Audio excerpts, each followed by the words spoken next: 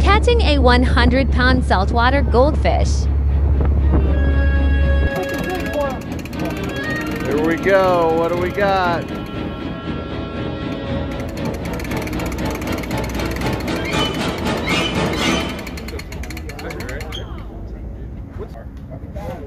This is an opah that weighs 104 pounds. Nice work. Yeah, you got to get in there.